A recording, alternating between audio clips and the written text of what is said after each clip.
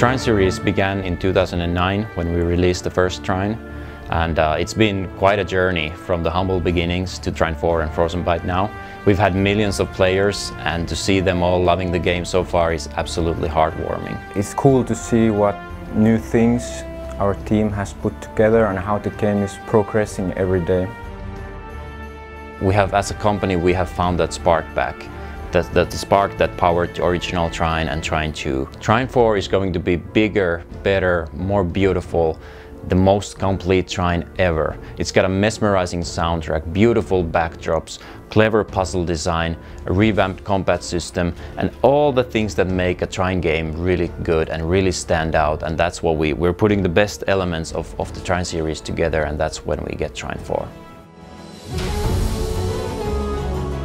Trine is, as a series is really well known for the fantastical fairy tale atmosphere. It's a really beautiful, breathtaking world filled with gorgeous environments, uh, a fantasy world with a lot of color. The games is a mixture of action, puzzles and adventure, so you're kind of playing with three different heroes uh, as one. And the player is able to uh, switch between the characters at any point and that is uh, actually really useful and even required in many of the puzzles and also in, in fighting the enemies. The Ultimate Collection is collection of all the Trine games, including the Trine 4. And we're really excited about it because it gives uh, new players the opportunity to experience the full game series in one package and then returning fans the nostalgia of reliving all those moments they, they experienced before.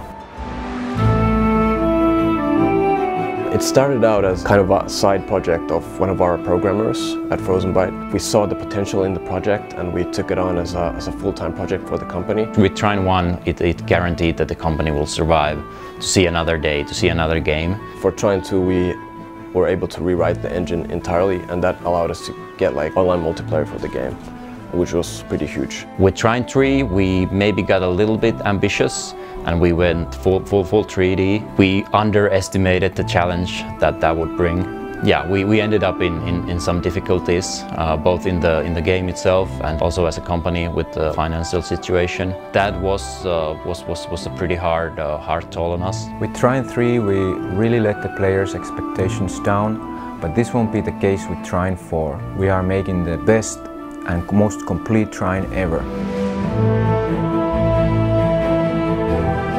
Trine 4 returns to the side-scrolling platforming action that made the first two Trines so good.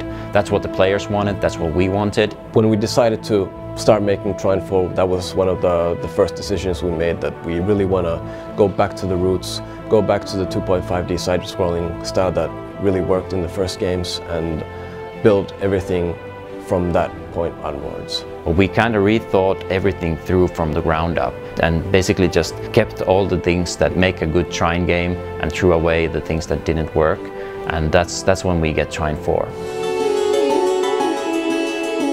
I know that Trine 4 will be the best Trine game ever and I hope that the materials that we release up to the launch will convince you guys as well because we've, we've got a really wonderful new, new story. Every time I go to the art department I see all the new stuff that they're working on and it looks absolutely amazing and it's, it's so fantastic to see, see all these art concepts come to life and then when it gets further into production you, you see that there's voices added, animations and everything just clicks into place. That is such an amazing thing to see that this vision that you've had for a game is actually coming to life right in front of your eyes. It's absolutely mesmerizing.